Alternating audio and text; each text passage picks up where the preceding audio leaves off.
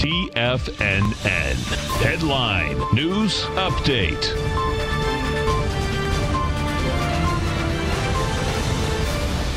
Welcome, folks. We have the Dow Industrials up 115, Nasdaq up 26, S&P's up two and a half. Gold, gold's up eight dollars and sixty cents, trading at 14.89 an ounce. We have silver up 27 cents, $17.49 an ounce. Let's get over to the silver market.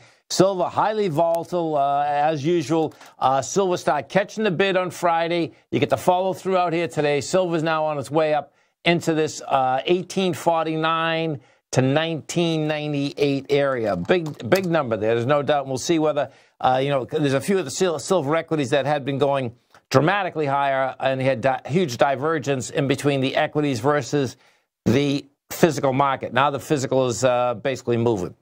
Notes and bonds. You get the 10 year note up four, uh, down four ticks at 128.04. The 30 year down 11 at 155.29. Now, both notes and bonds, folks, what they had done last week is this they had tested their strength, dramatically lighter volume, rejected lower price. Out here today, they actually went higher with lighter volume, gave it up in price, and that's not great. That's saying that you're going to come in for another test down at the lows. Right now, the 20 year is trading at 128.04. I expect this is going to come down 129.29 and retest that whole area.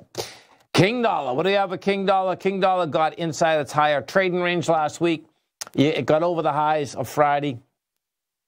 Underneath them right now. Bottom line, King Dollar is going to have to get back under 97 141 in order to be in the lower range. Right now, you're at 97 657. We get over and we take a look at the S&P. What you're going to see at the S&P is this.